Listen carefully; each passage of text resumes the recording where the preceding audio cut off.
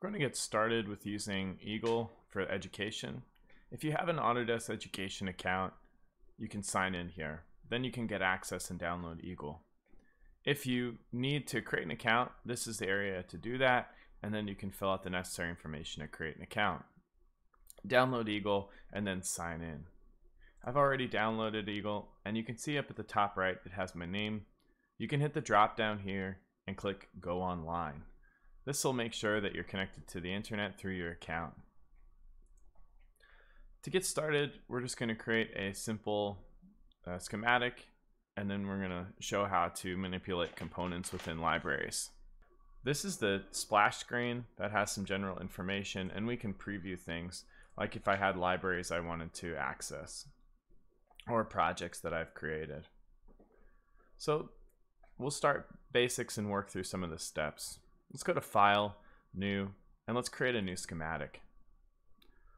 We have a blank slate here, and something I always like to do to get started is click the grid, and then I make sure my display is on. I'm going to keep the defaults for now. We're using through-hole components, and most of the headers are 0.1 inch. Let's hit OK.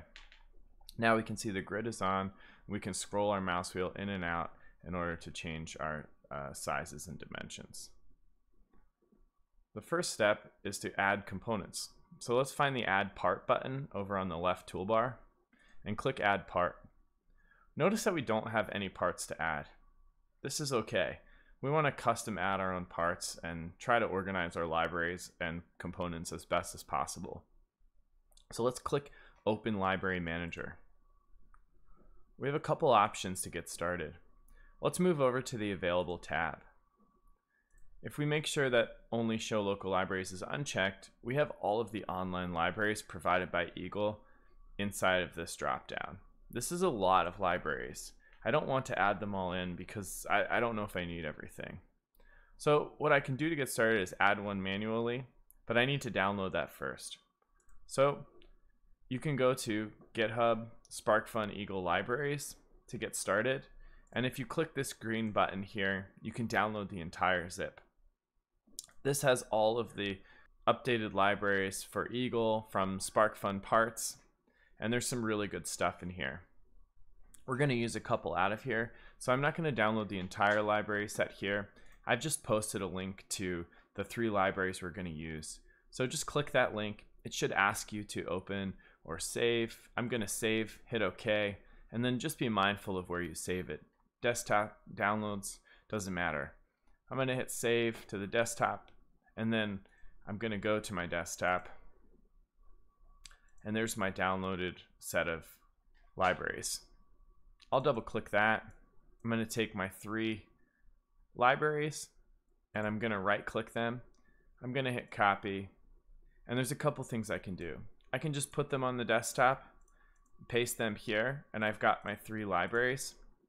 And then I can go to browse and go to my desktop and then I can find my three libraries. That's an okay way to do it, but it's going to only temporarily provide you the libraries for that particular project. I'm going to take a step back now and I'm going to install these libraries from the splash screen. So now that you know how to find online libraries, you know how to manually place one for a project, I'm going to do it so that I can use them forever. So go back to your control panel, that home splash screen, and we're going to go to options. Look at directories up at the top, and it should say libraries. That's where all my local libraries are. So I'm going to hit browse, and it's going to show me where they are. In documents, Eagle, and then I've got libraries. So if I pull up my window again, I'm going to take these three that I just unzipped. I'm going to copy them, and I'm going to find that documents folder, Eagle, libraries, and then I'm going to create a new folder so I can keep things organized. I'll call this SparkFun. And then I'm going to paste these within that SparkFun library. Okay. So now, when I hit cancel, I can go back to this control panel, look at my libraries, and there's my SparkFun libraries. So let's go back to our project and see what happened. And those three libraries have just been added to Eagle. So our simple schematic we're going to have a 6 volt input, a 220 ohm resistor, an LED, and then we're going to complete the circuit. Let's go to our schematic and just drop our parts in. Let's find the generic LED. Just by clicking this down arrow, we get a bunch of options. I'm going to find the generic and drop that down again. And we're using 5 millimeter LEDs. If you notice, I get a schematic view and I also get the PCB layout, which is really nice. I can see that this is an LED 5 millimeter part through hole, and that's exactly what I want. So let's hit OK, and notice we can zoom in and out. I'm going to just place this in space, hit escape on the keyboard, and it brings me back to my add components. I need a resistor, and instead of going through and trying to find the resistor that I want, I could just grab a 220 ohm resistor and bam, smack that in. But this doesn't look right. This is a SMD part, a surface mount part. It's not exactly what I want. So I'm going to scroll all the way down to the bottom, click resistor generic, find the axial 0.3. This looks much more like the part I'm using on the breadboard. And this is a good generic resistor that I can pop into my schematic. I'm going to hit OK, and I know I need one of those. Let's hit escape one more time. Scroll back up, and we'll pull that resistor drop down back up. And then the last thing I need is power symbols.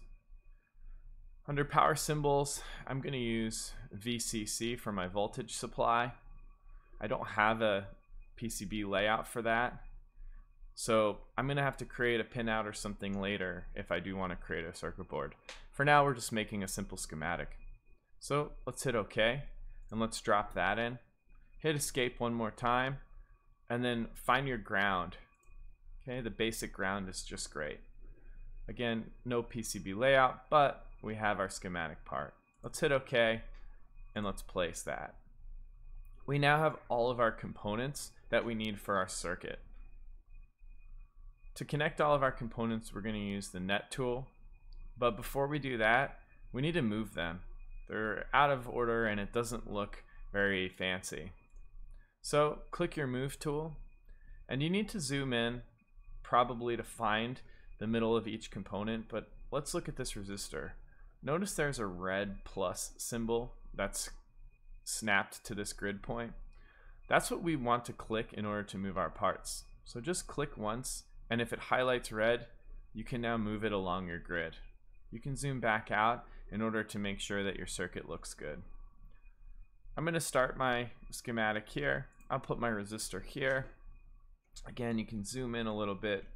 Find that middle plus sign for your part. Zoom out, click once, and then you can move your part. Let's do the same on our voltage, click, we'll move it, and we'll bring our circuit down right here. Now I have a pretty clean circuit, things are spaced out evenly, and I'm going to connect everything with my nets. To connect a net, you want to make sure that you select that uh, circle that pops up, and then if you don't like the way that it's trying to figure out your part, you can try to move your mouse around to find it, or you can click one uh, area on the grid and then click to your component. Again, click, click, click, and I'll connect these two. I've now completed my basic circuit and I need to make sure it's labeled properly.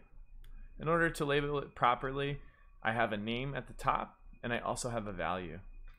So I'm going to use the value first and click the center again of that component. It says it has no value and we'd like to change it. So this was a 220 ohm resistor and I'm gonna hit OK. The value now shows up underneath the part. I'm gonna do this one more time with my LED and ask for a new value. Notice how it didn't ask you to change it because the value of the diode doesn't totally matter in terms of the schematic, whereas the value of the resistor would. So I'm just gonna call this green and I'll hit OK. That way I know it's a green LED. This sets up the basis for our schematic layout. if I really like what I've got, I can export my drawing to an image. I can get a bill of materials. I can make a SPICE parts list for simulation and I can also make a DXF for other uses. I can create a library out of this. A lot of things you can do once you've created a simple schematic. All right, don't forget to save the schematic. And there's a couple places, but I'm gonna make sure I save it in that projects folder. And I'll just call this my test schematic. I'll hit save, and now you've just got your first schematic drawn.